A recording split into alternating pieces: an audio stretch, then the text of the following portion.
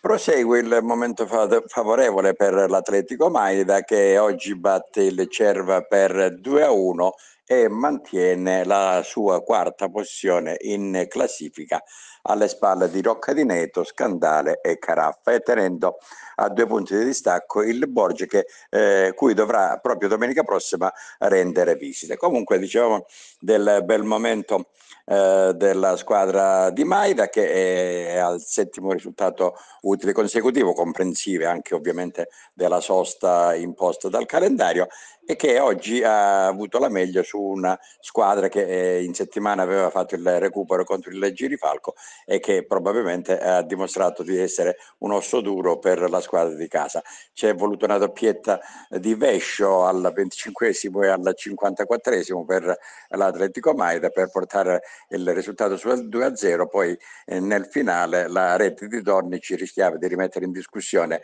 il um, risultato, ma uh, è stata brava la squadra di casa mantenere questo, punti, questo vantaggio, questo gol di vantaggio che ha portato tre punti importanti per la stessa classifica.